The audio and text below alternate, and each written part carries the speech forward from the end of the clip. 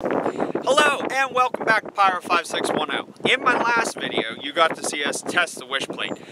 Let's roll some footage from that.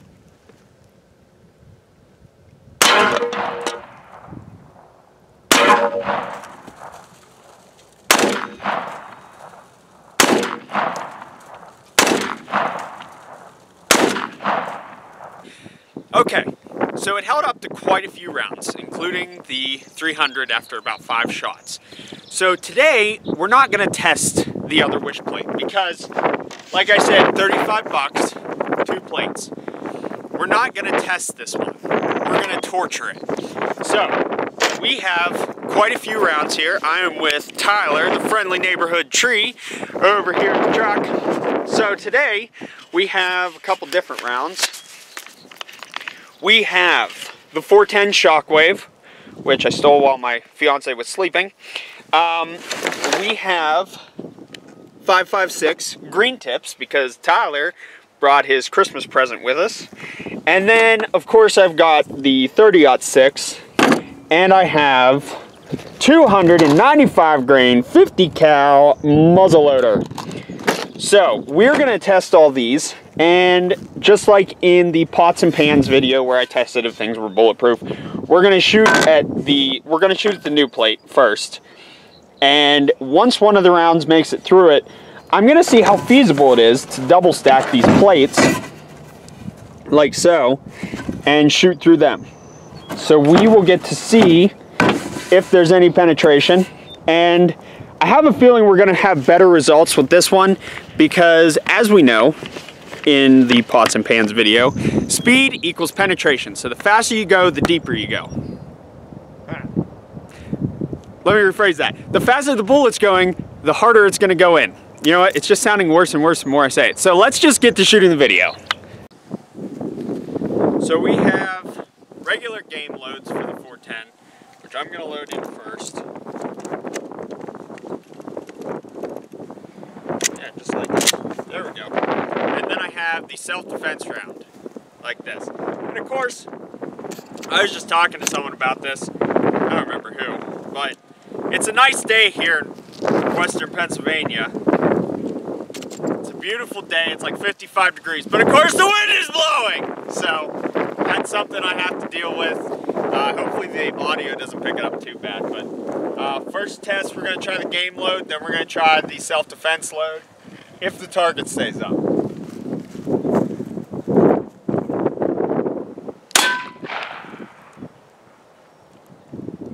That hit it. That sounded like you hit it. I don't see where. At all. Damn. Here, this was all bubbled up. You can feel the BBs in there. So that's where I hit it the first time. And then the second one, that was three copper plates. One of them definitely hit there. I don't know where the rest of them hit. And then it's followed by a certain, I don't remember how many BBs, but there's some BBs in there, and there's a couple up there. But uh, no, that one survived for sure. So now we'll move on to the 50 cal muzzleloader because I think that one's the next lowest velocity. All right, so once again, I don't know uh, how much you can hear me because of the wind. It's really terrible today, but um, got the muzzleloader here. It should fire on the first shot if it's as accurate as I think it is. So if you ever caught yourself in the middle of the Civil War and you had a wish plate, we're gonna find out if you'd be safe or not.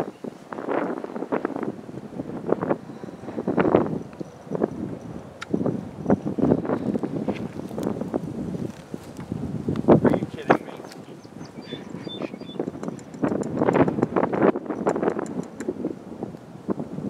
I don't think I have any powder in there.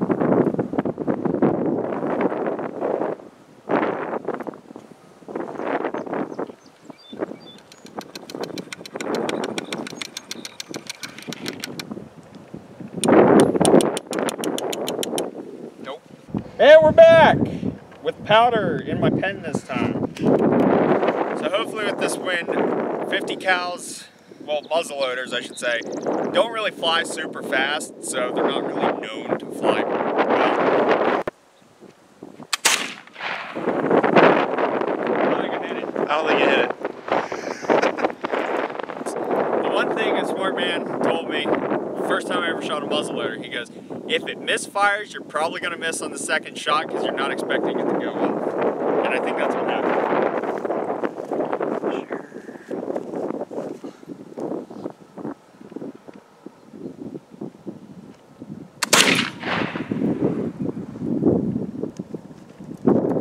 What happened there? All right. So while I was out there again, I was looking at this and it just kind of moves freely.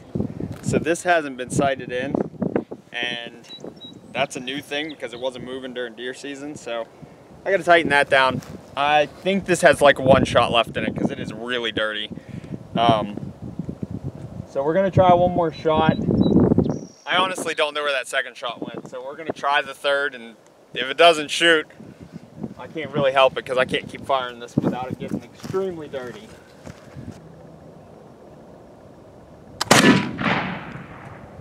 You clipped it, I think. Okay, we finally found where I was shooting at, and it was shooting low. Not super low, but kind of low. And I got two right on the same spot, so this should be the kicker, and we should get it this time.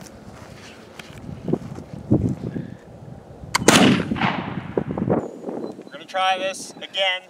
I think I got it figured out.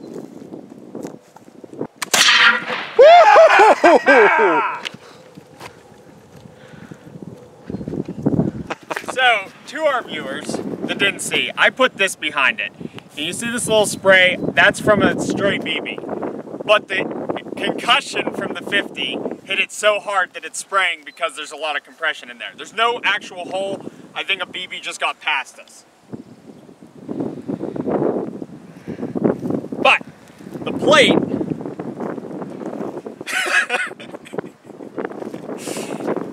There's an obvious dent, but it did stop. I mean, there's a you're gonna have probably some sort of rupture in some organ. You might have a bleeding bowel from that, but it stopped it. I mean, that's the first bullet that I saw that took off that much freaking paint off the plate itself. And thank you for helping me sight in my muzzleloader today. It definitely needed that. But my God, it stopped it. now that we've shot the 50 cal six or seven times, and it definitely needs a bath, we'll move on to, oh, let's do the 5.56 next. So, now that we saw what the 50 cal will do to it, uh, we're going to move on to the 5.56 because the 30 on 6 I know is probably just going to blow right through. Once again, remember, these are 3A. They are not rated for any rifle rounds whatsoever. So the fact that it has stopped four shots of the 300 and the muzzleloader, which I know they are a slow, it, the is a slow moving rifle round, they're pretty impressive. You have to say that, even if you don't care anything about it, you have to say that. So Tyler brought his 5.56. I'm gonna let him shoot um, regular round through it first, and then we're gonna fire green tip from a little bit farther away. And I don't have much hope for either of these rounds because they are fast. They are small, but they are fast moving rounds. And then I'm gonna shoot the 5.56 probably off camera because fun fact about me, I've never actually shot a 5.56 before. All right, we're good.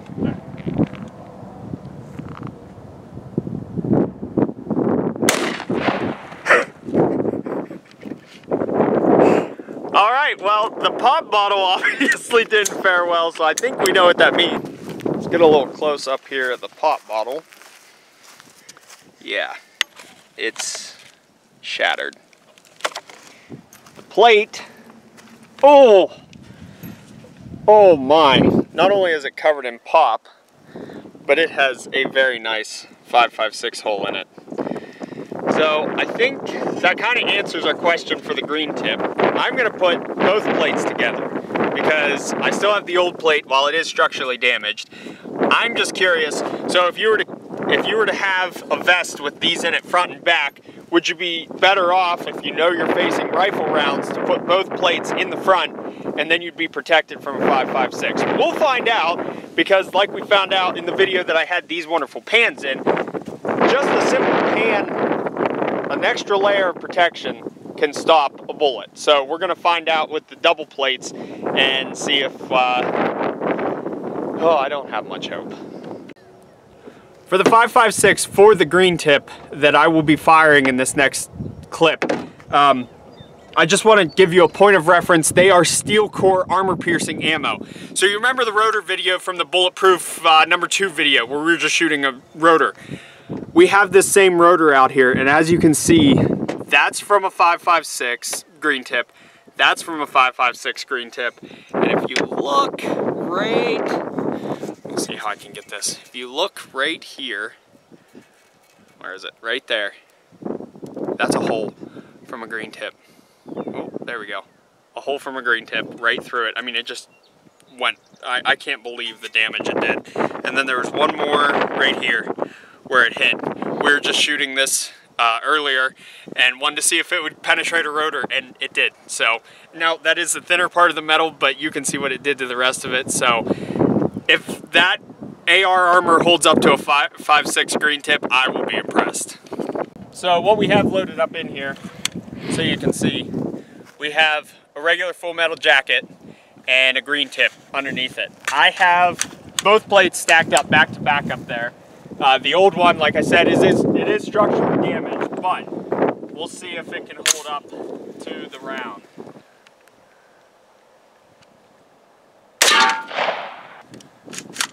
Rolling. Yep. All right, now the green tip.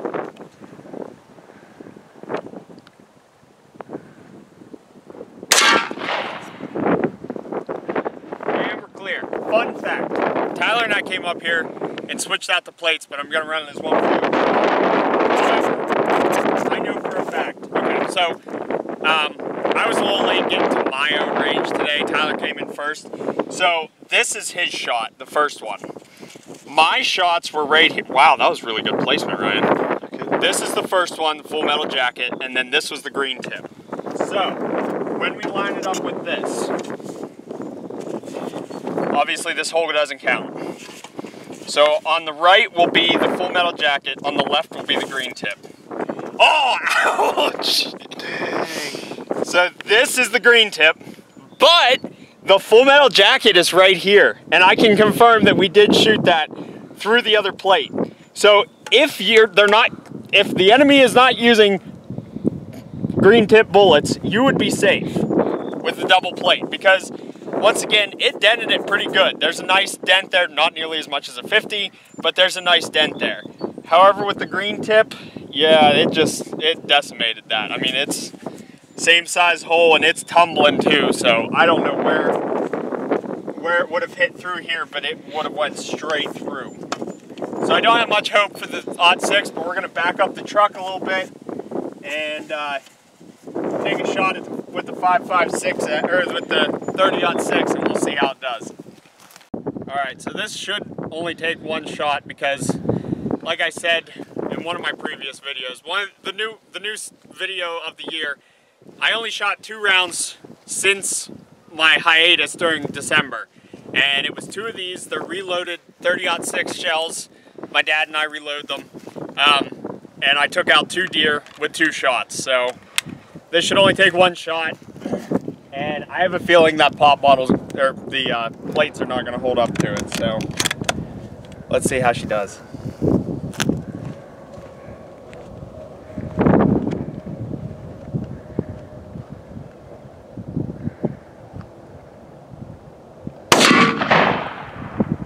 So, um, remember, this I put them backwards this time. Oh, okay. So that was the full metal jacket. That was the green tip. This was the first 30 six shell. Jeez. That is the second 30 six shell. It uh, folded the plate, it cracked it, and it did not slow down whatsoever. Yeah, that actually, that's like a 45 cal hole because I can fit my whole finger in there. And it looks like it hit the back plate. Yeah, it didn't stop or even slow. I mean, it's just, I mean, this is all decimated. This is all like ripped up back here, but it wasn't stopping. So, in conclusion, these I'm not upset with these this purchase. I can tell you that. 35 bucks I paid for both of these. Not one, I didn't pay 35 for this and 35 for this. I bought these 35 bucks and they uh, they stopped quite a bit. And like I said, we weren't testing them today, we were punishing them. So for what it's worth, you could get yourself some bulletproof armor. Even if you got two 35, I mean that's what $70 off the top of my head. $70 for two sets of these. You could put two in the front, two in the back, and you're not gonna be any thicker. And you'd probably be lighter than wearing that level four armor that I have, which would stop up to, I mean the level four will stop higher, but if you don't, if you just want something just for fun, or you know, you're not, you're just worried about handgun rounds, I would recommend these to anyone because that stopped everything we put it through up until the green tip and the 30-06. And I didn't space these either, so they were flat up against each other. If you'd like to see more videos, let me know. I'm working on getting more stuff from Wish. Um, they have level four plates, which I'd love, love to test out. They have bulletproof shields. They've got even stab proof vests. I will try that with a blowgun and see if it'll stop a blowgun. But if you'd like to see more stuff from Wish, make sure you like, comment, and subscribe. Let me know what you'd like to see. As always, thanks for watching. I've been Pyro. Have yourself a wonderful day.